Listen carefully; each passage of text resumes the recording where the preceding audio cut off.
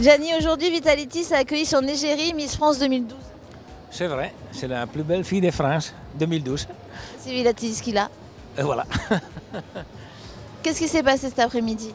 Oh, C'était une belle journée. euh, on, a, on a présenté euh, Delphine sur le grand podium et je n'avais pas encore euh, fini la, la phrase en disant passez sur le stand Vitalitis, tout le monde est parti. Il y avait la file, euh, une heure de file pour, pour se faire signer les dédicaces.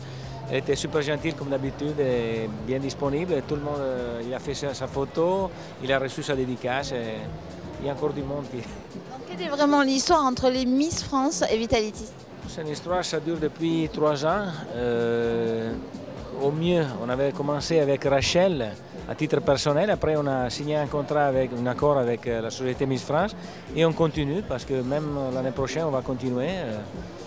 Et on, on adore euh, présenter les Miss parce que ça respecte un peu la philosophie de la société. Qui est Délicatesse de produits, la qualité de produits, l'élégance, la finesse et tout ça.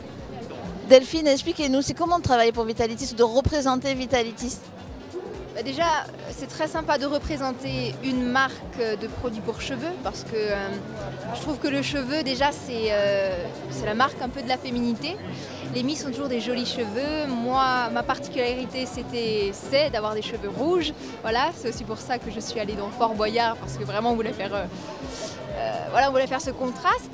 Et mes colorations sont depuis toujours par, les produits Vitalitis, même bien avant que je sois élue Miss France. Donc, il y a la coloration, mais il y a tous les soins qui vont avec. Et euh, c'est du travail d'entretenir ses cheveux et je peux le faire grâce euh, à ces produits. C'est une histoire qui continue tout simplement avec Vitalitis. Exactement, oui. Merci Delphine. Merci, c'est gentil.